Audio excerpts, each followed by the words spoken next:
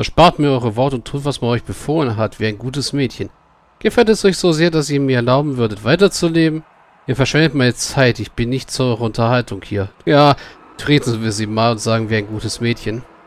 Irenikos wird der Tat euren Tod, aber ich bin nicht sein Schoßhund und ihr untersteht jetzt meinem Willen. Eure ironischen Bemerkungen werden keinen Groll gegen meinen Bruder hervorrufen, aber ich muss ihm auch nicht sofort gehorchen. Eure Fähigkeiten haben mein Interesse geweckt und da ihr sterben werdet, würde ich euch auf unterhaltsame Weise, würde ich es euch auf unterhaltsame Weise machen lassen. Irenikus kann so hart sein, wenn er will. Er plant die Rache für seine Verbannung und kann an nichts anderes mehr denken. Ich befürchte, dass sein Entschluss, lebendig zu bleiben, eine Fehlentscheidung war. Ja, sie ist Vampir geworden.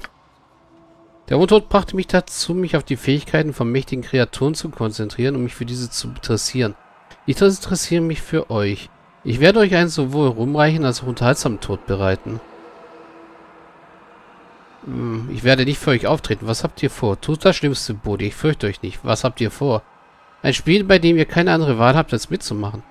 Ihr werdet mich einen Spießrutenlauf, ihr werdet für mich einen Spießrutenlauf auf euch nehmen, weil ihr an die geringe Möglichkeit denkt, dass ihr etwas ändern könntet. Seht ihr diesen Gang vor euch? Er ist, ist der dunkelste Teil des Heims und seiner Geschichte. Eine Prüfung der Klarheit seiner Gefangenen von einem Direktor, der sich daran erfreute, dem Geist zu sezieren. Jetzt steht er unter meinem Einfluss, jetzt steht er unter meinem Einfluss und dieser Ort wird von mir kontrolliert. Es ist ein Meisterstück des Wahnsinns, als dass ihr genau kennenlernen werdet. Es ist einige Zeit vergangen, seitdem ich die Verfolgung eines würdigen Gegners aufgenommen hatte.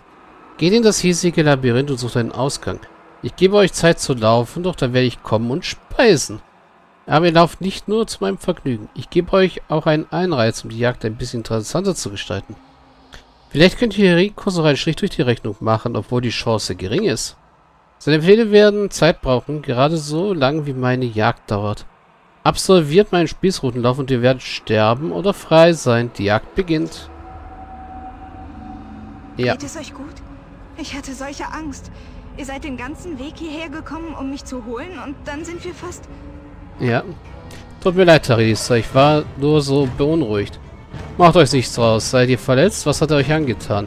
Ja, es war äußerst unangenehm, aber wir sind wieder vereint und alles ist wieder in Ordnung. Wir haben überlebt, aber nicht unversehrt. Ich muss wissen, was er mir angetan hat und euch. Ja, ja, ich war dort. Lasst uns diesen Raum zurückkehren und ihn erledigen. Was er euch angetan hat, ja. Ich weiß es nicht. Glaubt mir, dasselbe, was er euch angetan hat, denke ich, da wir ja gleich sind. Dann dieser zeigte mir, was ihr seid und was ich bin und dann hat er es weggenommen. Ich habe keine Ahnung, was ich jetzt bin, Talisa. Ihr könnt es vielleicht noch nicht fühlen, aber durch den Zauber fühle ich mich leer. Er nahm etwas Lebenswichtiges. Er sagte, dass es meine göttliche Seele war. Ich finde heraus, dass ich ein Kind eines Gottes bin und jetzt fühle ich mich leer und sterbe. Auch ihr seid. Wir werden überleben, indem wir uns gegenseitig helfen, so wie wir...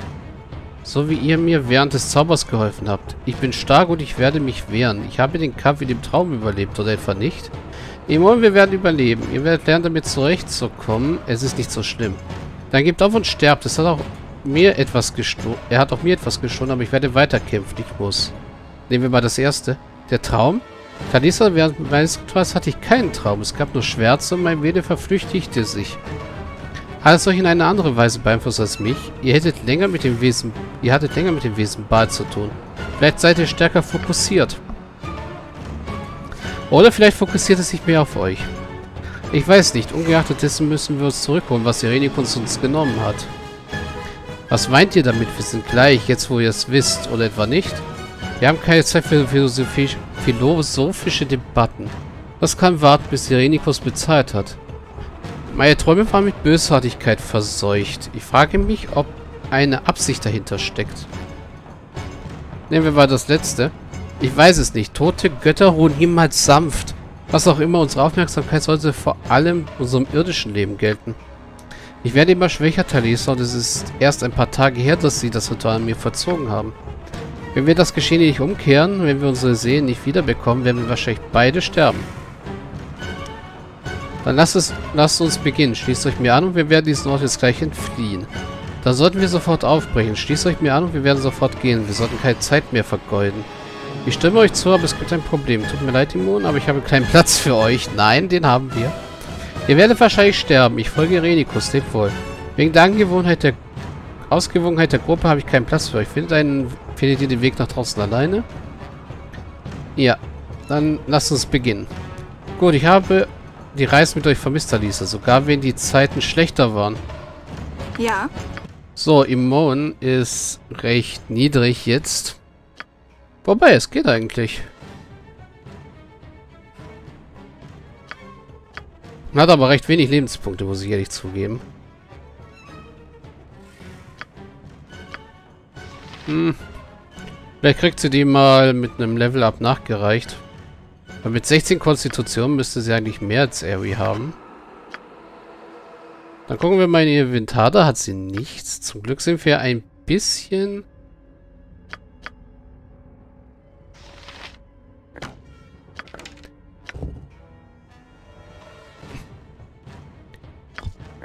vorbereitet und geben ihm morgen einfach mal das Ding hier.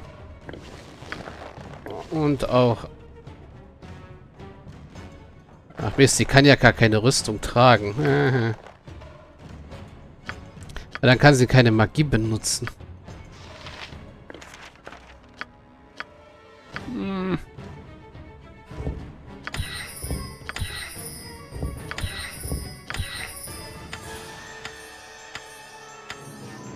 Zauber sind auch so eine Sache.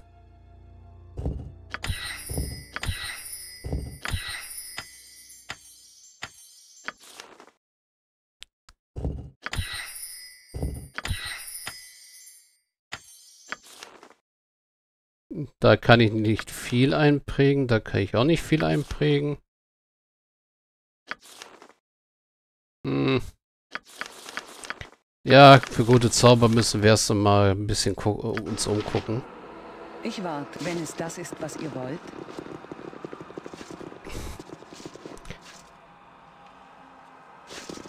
So. Wir haben unsere göttlichen Fähigkeiten verloren. Das sieht man daran. Wir können das hier nicht mehr benutzen. Was allerdings nicht so schlimm ist, weil die waren sowieso nicht sonderlich toll. Es war ja nur zweimal leichte Wunden heilern, zweimal Gift neutralisieren und zweimal göttliche Macht. Ah, ja. Erledigte Aufgaben.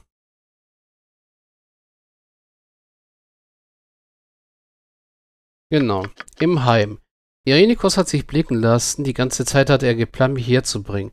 Durch Verrat hat er mich gefangen genommen und er hat vor mir meine göttliche, hat vor mir meine göttliche Seele zu nehmen. Das gleiche hat er bereits Simon angetan, die laut Irenikos auch ein Kind von Baal ist. Warum hat Corion mir nichts gesagt? Wie konnte sie diese ganze Zeit eins der Kinder sein?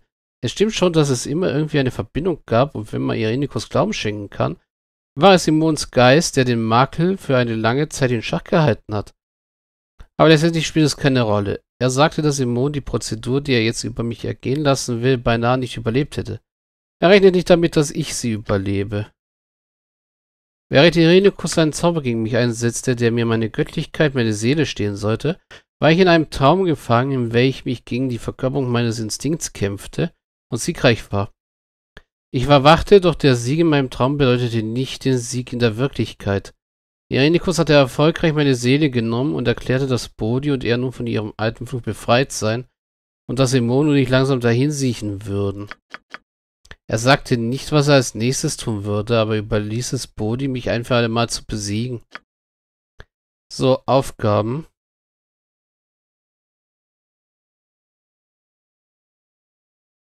Äh, warum auch immer das noch nicht abgeschlossen ist.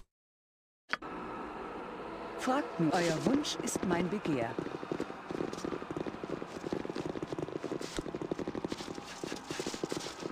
So, ja. Wir sind jetzt in der untersten Etage, wie gesagt, der des Heimes. Und hier kann es recht böse zugehen. Hier wird es auch recht böse zugehen. Hm. Okay, okay. Verstanden. Das hier ist nämlich sozusagen die Baldur's Gate 2 Variante von Dulax Turm. Los, schön. Hi.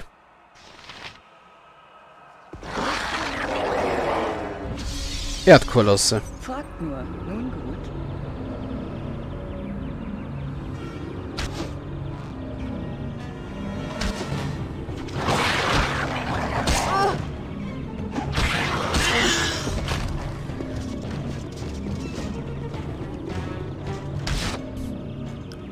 Ich bin bereit.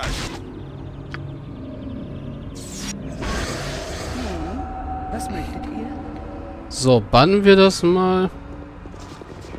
Wir sind allesamt Ihr Bo Ich und tu dir es sein muss. Kampf der Unwaldläufer auf der ganzen Welt. Frohlocken, das sollte nicht sein. jemand. Um meine Wunden. Die Dienerin der Natur ist bereit. Ja, okay. So viele Erdkolosse. So viel Schmarrn.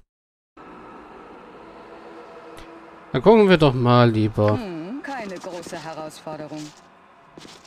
Ja, das scheint die Tür nach oben zu sein.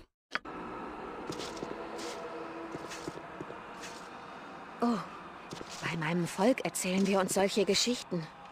Unter der Erde rumzukriechen ist Die nichts Dienerin für die schon Avaria. erledigt.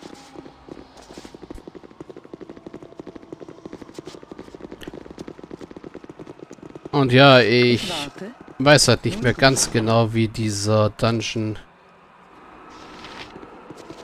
Hi, Golem. Ja, was immer ihr Das wünscht. Gute ist heute auf Ihnen die Augen aus.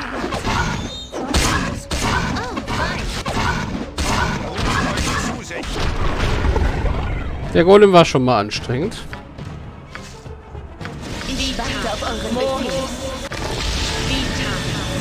Ja, schwupps bin ich weg. Ach so, sie kann nicht heilen.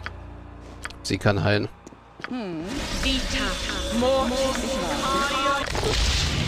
Ach, ernsthaft.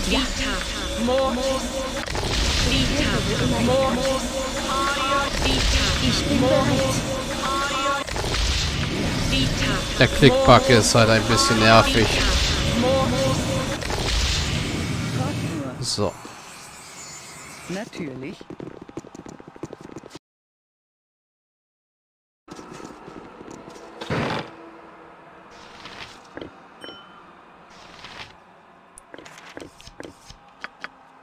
Ah, die Bolzen nehmen wir auch mal mit, auch wenn wir sie nicht unbedingt brauchen. Und zum Glück haben wir Yoshimo den Beutel weggenommen. Kann die Mond die Pfeile identifizieren? Ja.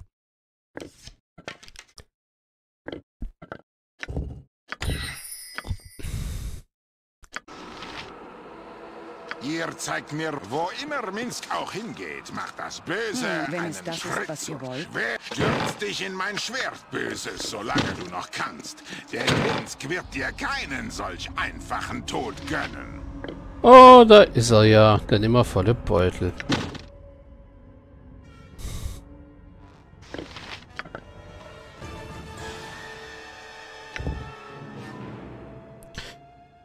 Auch dieser magische Beutel wirkt wie ein wirkt wie alle magischen Beutel wie ein einfacher Stoffsack von ungefähr 60 mal 120 cm Größe. Das muss ein Fehler sein, wie es ein Beutel... Okay, das ist dann eher ein Sack.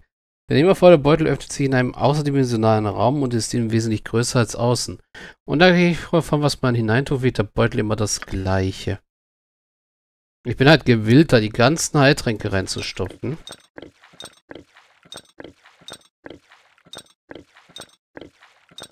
Damit machen wir aber wahrscheinlich den Beutel ziemlich schnell voll.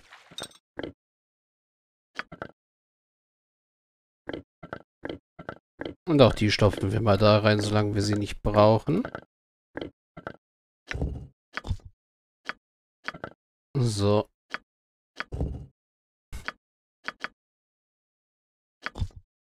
In den Rucksack bitte damit. So. Alles, was zum Verkaufen ist, kommt weg. Der kann ihm zu immun. Das kann man zu immun und die beiden können wir zu immun. Ach ja, und das Horn.